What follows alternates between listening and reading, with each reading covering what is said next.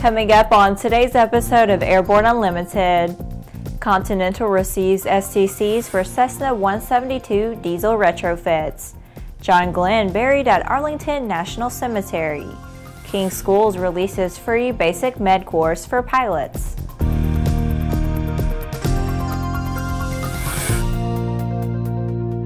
Hello, I'm Laura Hudson. It's April 10th and this is Airborne Unlimited.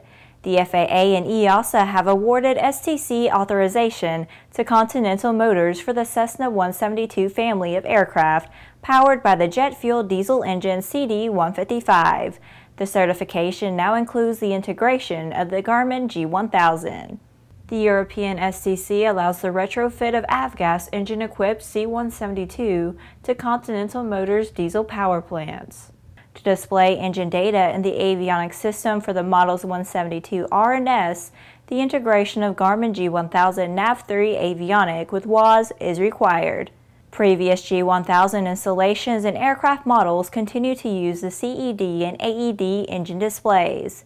The retrofit kit includes a larger propeller outperforming conventional equipment in climb as well as cruise as well as G1000 integration. The engines come with a lifetime of 2100 hours and long maintenance intervals.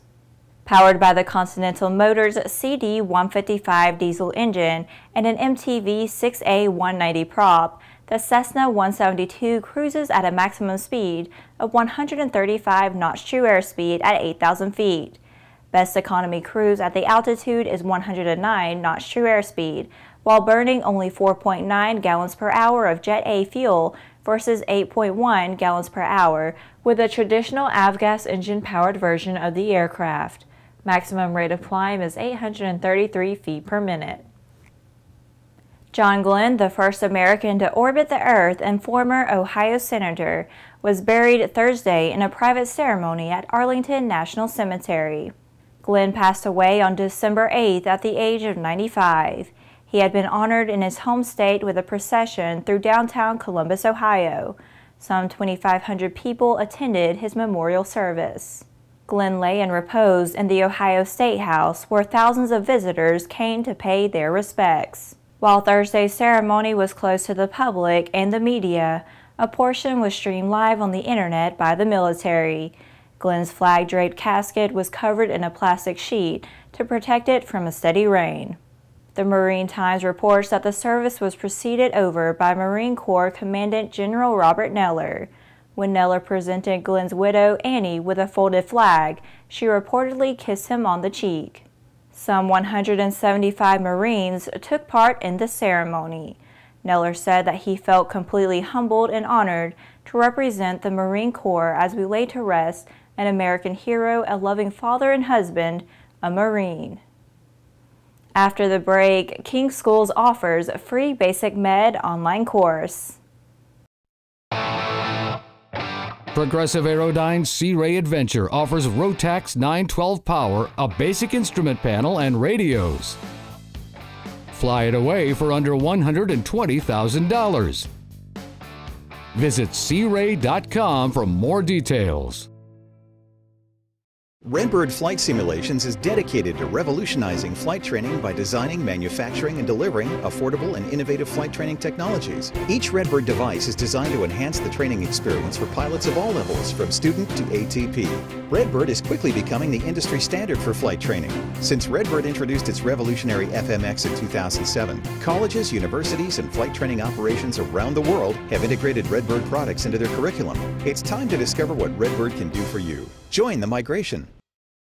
The dream is real, a truly affordable personal jet aircraft. The SubSonex Personal Jet Kit is priced at only $42,000. Kit plus engine is still under 100K. Add instruments, upholstery, and paint and you're flying. It's time to put your money where your bucket list is. Learn more at sonexaircraft.com.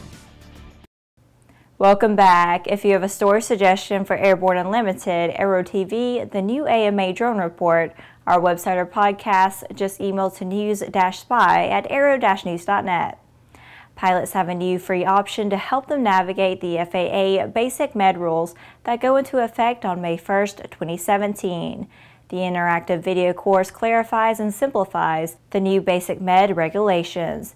as well as reviewing the rules related to flying with each class of medical certificate. Those who take this course will learn if they qualify to use BasicMed and what they must do to stay legal.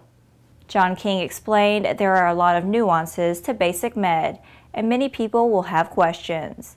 It is a victory for the aviation organizations like AOPA and EAA that press so hard for it, and for all pilots that have found FAA medical certification an intimidating and frustrating process.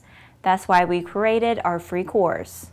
The course was released to the public on March 30th, and in only the first five days, we had 928 enrollments and 123 positive reviews, said Martha King. The response to the free course shows that there is a tremendous amount of interest in the information. We sincerely hope that these new medical options will bring people back to flying. Each week, we share with you an online video that one of our viewers found especially entertaining. We call it our Aero Video of the Week.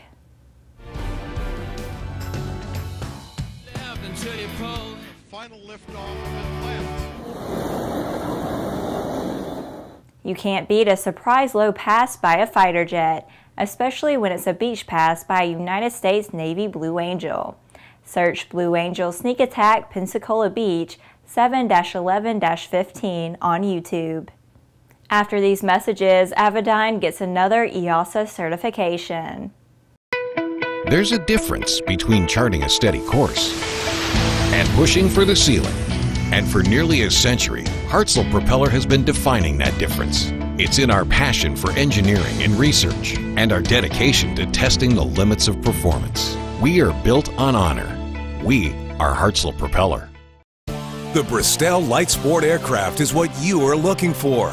The Bristell is wider than a Cirrus, faster than a Skyhawk, offers more storage than a Husky, and comes standard with Garmin avionics. So what are you waiting for? Visit Bristell.com to find out how you can get into a Bristell today.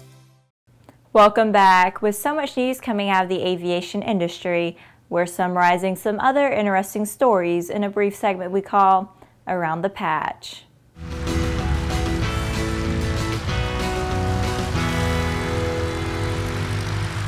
EASA has certified Avidyne Release 10.2 software for their IFD 540 and IFD 440 FMS GPS NAVCOM systems. R10.2 provides new features for new and existing IFD 540 and IFD 440 owners, including synthetic vision and two-way wireless connectivity with Avidyne's new IFD 100 iPad app. Avidyne has also received approval for their new IFD 510 and IFD 410 FMS GPS-only systems. Boeing Business Jets and the government of Poland announced an order for three next-generation 737s at a signing ceremony held in Warsaw. The order includes two new BBJ-2 airplanes and one 737-800, which will be operated by the government of Poland as a head-of-state aircraft. This May, participating skydiving centers around the country are offering first-timers the chance to learn how to skydive for free. The United States Parachute Association has proclaimed May as Learn to Skydive Month.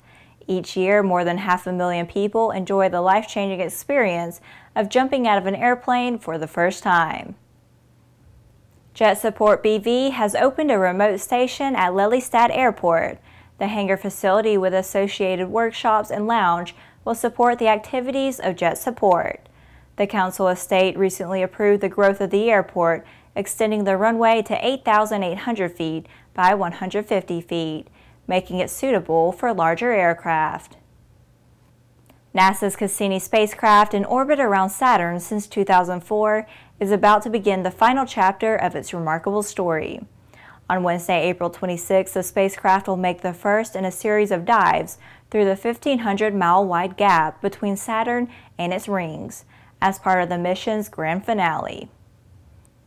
Well, that's it for today's trip around the patch. Now let's move on to the rest of the news.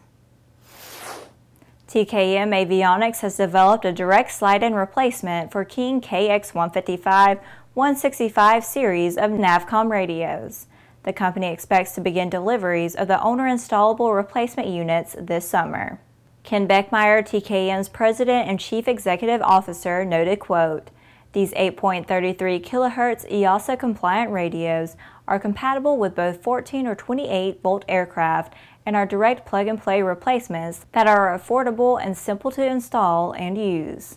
The newest addition to TKM Avionics line of upgraded retrofit radios features active standby flip-flop high visibility alphanumeric touchpoint displays and high sensitivity tuner with improved output quality. Designed specifically to be owner installable, it will fit and interface with existing equipment in the panel. It's also intuitive to operate and makes adjusting volume, squelch, and display brightness simple and efficient. It's equipped with a master volume knob, but the nav and COM volumes can also be adjusted separately. Frequency memory with user-defined channel codes for both nav and COM, automatic and manual brightness controls and graph displays for volume digital squelch, brightness, and transmit level adjustments will also reduce the pilot's workload. Well, that's our program for today. Remember that Airborne Unlimited is streamed daily Monday through Friday with additional breaking news bulletins for important stories that fall outside of our normal deadlines. If you're watching us on YouTube, please subscribe and do check us out on Facebook and Twitter. Get comprehensive, real-time, 24-7 coverage of the latest aviation and aerospace stories anytime at aero-news.net. See you tomorrow.